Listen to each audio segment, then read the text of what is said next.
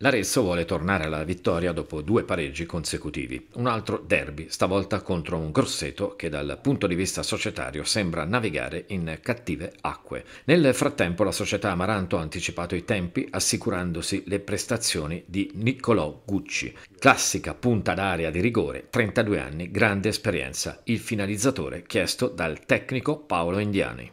Sì, era uno dei nomi su cui si stava lavorando crediamo che abbia le caratteristiche per poterci aiutare e speriamo che lo dimostri.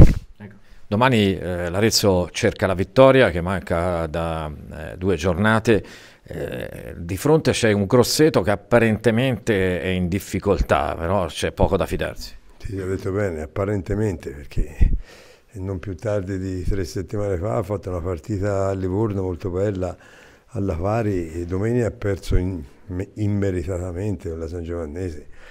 Eh, secondo noi ha dei buonissimi elementi, ha dei buonissimi elementi che, che i numeri della classifica non testimoniano. È una partita difficile, ma come tutte tra l'altro.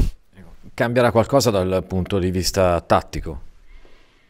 Eh, vediamo, è chiaro, stiamo cercando altre strade per vedere se si risolve questo benedetto problema realizzativo che si cambi subito dall'inizio penso sia difficile, però ecco, ci stiamo lavorando su altre cose.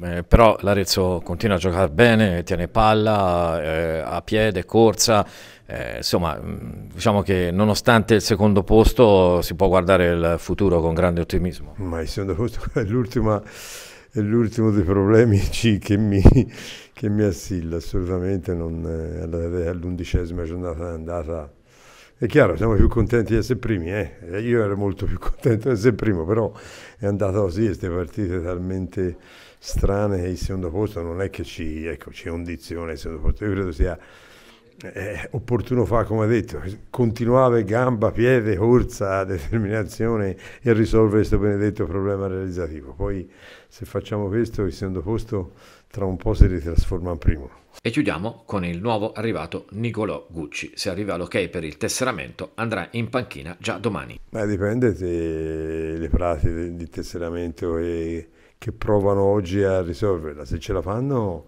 può anche darsi, altrimenti non sarebbe utilizzabile.